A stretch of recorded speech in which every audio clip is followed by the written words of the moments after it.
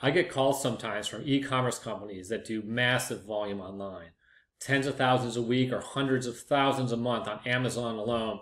They log in one day and they're shut down. They can't figure out why. And they call me and ask, Jeff, how is it possible that Amazon can so arbitrarily shut down our account without explanation? And I say, well, sound the funny business horn because it's right there in their conditions of use.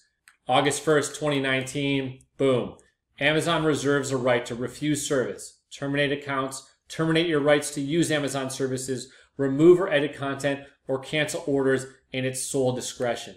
It is the Wild West on Amazon and it's probably going to be for the foreseeable future. So you better know how to talk to them. I've dealt with them a number of times and I can help you out. Please call me Jeff Monahan, business attorney in Los Angeles. Happy Fine Print Friday.